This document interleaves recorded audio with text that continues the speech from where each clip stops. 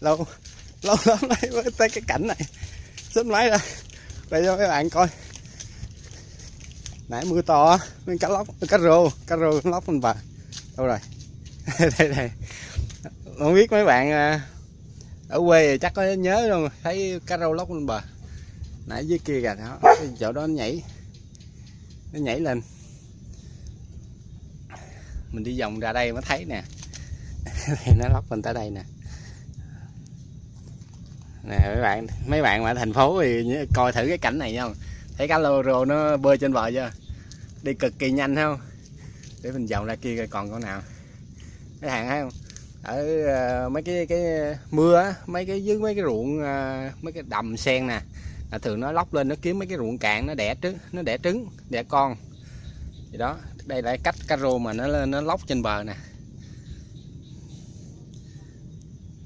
Mình sợ ra để mình đi vòng vòng ra về cái bờ kia coi còn không. Trời mưa nó lên nè nè, nó hay nó từ mấy ruộng này nó lên nè nó hay kéo bậy kéo kéo cặp hai, hai cứ một chỗ vậy cặp thường cặp hai con nó đi theo bậy vậy đó lên đẻ. Cái con ờ, mập mập gì là cá cá rô cái. Cầm đây luôn. Đi theo cái con con nào về đây không? Thường nó lên là nó hay lên, nó đến nó đi nó đi theo à, nó cứ thấy mưa lớn to là nó hay lên. Bờ, lóc cái kiểu vậy đó. có cho mấy bạn coi, cho mấy bạn à, ở thành phố chưa biết cá rô lên bờ sao. Tại à, cứ nghĩ nó ở dưới nước nhưng mà thật sự cá rô nó khỏe lắm. Nó có thể lách lách hai cái mang nó nó đi lên bờ rất là nhanh.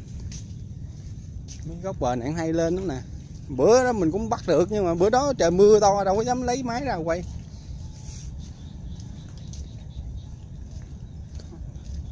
Đây đây đây đây, đây con con nữa nè thấy không? Nè mấy bạn mấy bạn để ý ha. Thường mấy cái à, gốc này là đó con cá nó mới quậy kia đó đó. Đó mấy chỗ đó mấy cái quậy quậy gì là cá rô á. Nó tìm cách nó đi theo mấy cái à, ngách này lên bờ. Đây con con nữa nè. Có hai con biết làm nè mấy bạn thấy cái cái cái bụng nó nó nhìn cái bụng nè.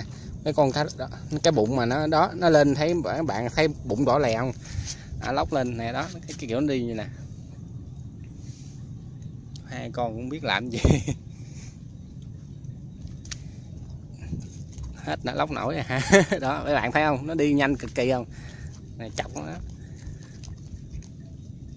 Nó thấy mình nó chạy dữ lắm chứ mà tại nó lóc lên cái bờ cũng chắc hơi xa đuối. Thôi để mình, à, mình bắt đêm vòng. Coi còn chỗ nào có không? Ít quá mình thả lại qua ao nè qua ao nhà trước nhà mình nè.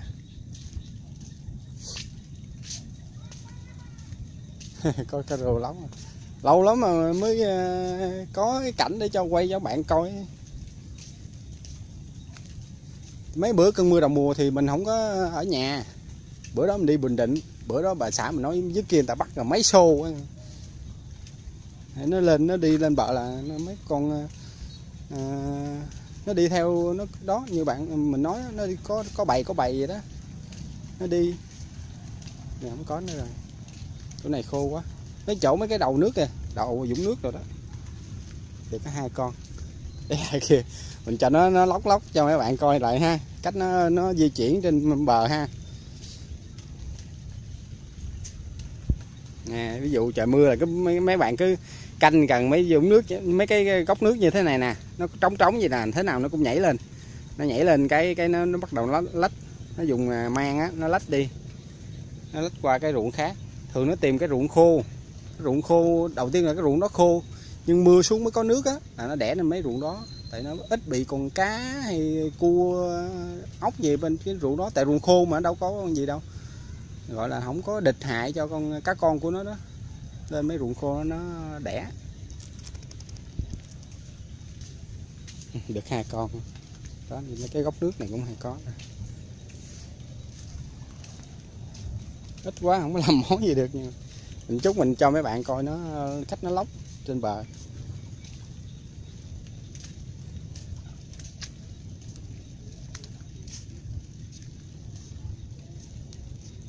Thường à, trời mưa đang mưa mình à, lấy dù, nón lá gì ra ngồi canh.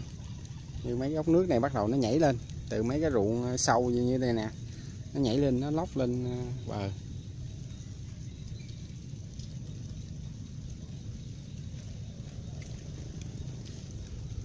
Có bô lô có gì vậy con? Vòng vô cho mấy bạn coi nó cách nó lóc lên bờ nó xong mình thả nó xuống có hai con cũng biết làm gì. Nãy mưa to lắm mưa nước mà tràn nước máng xối chảy mà cũng tràn vô nhà luôn. Mấy bạn thấy không? Nước mênh mông ở dưới cái ruộng trước nhà nè. Hôm qua thì cạn hôm nay nước mênh mông.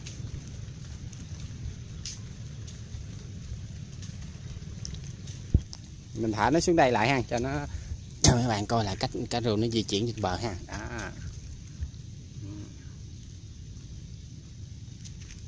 Trời, tối khó thấy ha. Là thấy không? Di chuyển rất nhanh đúng không? Đó. Uhm, thấy chưa? Em kia cầm tay nãy giờ chặt chặt hết nổi di chuyển đi. Tao thả mày. Đi. Thường cái mùa sinh sản này cá rô nó cũng ít ăn lắm. Nó ốm để nó nó nó lóc cho nó khỏe nó nó nó mập quá thì nó lóc không nổi nó cũng giữ cho cái người nó ốm ốm vậy nè. Nó đẻ xong nó ăn dữ lắm. Ví dụ ờ, qua cỡ hai ba cơn mưa xong á nó đẻ xong cái nó đói nó đi ngược xuống. Nó lội theo mấy cái ấy á nó đi ngược xuống cái uh, dũng ao sâu sâu chút nó bông một. Thấy không? Đây của cho nó nó, nó tự lóc cái dũng. Các bạn ờ, thành phố hưởng cá rô trên cạn ha. hiếm lắm mới gặp lại. Tại à, mới cơn mưa đầu mùa thôi chứ mưa giữa mùa gì ít lắm. Ra đây nè ra đây nè. Ra đây đó. Bạn thấy nó, nó quậy nó quậy gì ra nè nó canh nó lên á nó lên bờ. Đi cứ ra mấy cái bờ ruộng á. Buổi sáng nó dễ thấy lắm. Cái bự cái bự ruộng rồi xong cái ờ, nó nó nhảy lên. Nó nó lội dưới trước. Các bạn sẽ thấy nó lội. Nó, cứ hai con gì nó lội nó quằn quằn quằn dưới nó kiếm chỗ nó nhảy lên. Mình đi mình xa xa mình núp mình canh chừng. Khi nào nó, nó nhảy lên nó lóc lên bờ rồi bắt đầu mình chạy là mình chụp. Cũng lẹ lắm nha. Nó mà thấy mình nó gần dũng nước nó nhảy xuống liền. Đi cố xuống đi xuống đi. Đó một em xuống rồi. Xuống đi.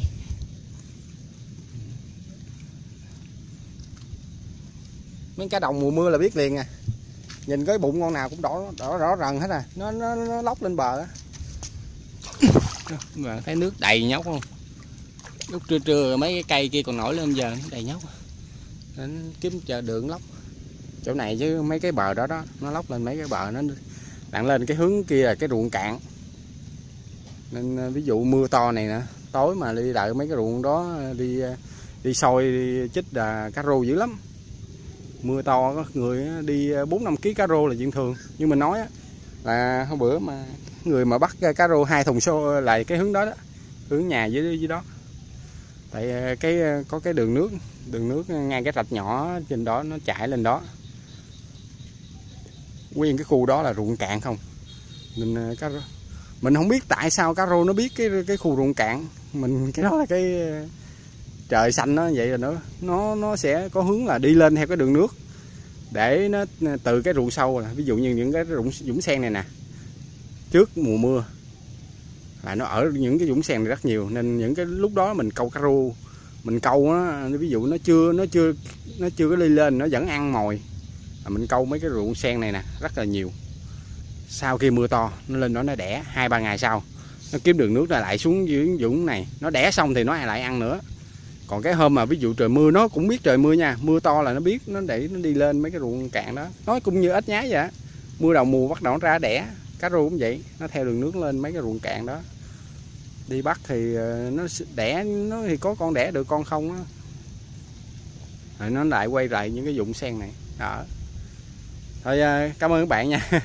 Quay cho các bạn coi ờ, thấy hên rất là hên. Tại ờ, vô tình thôi. Thấy tạnh mưa mình tính đi nói chung ra đây để coi bớt mưa mình đi rước ờ, mi với na.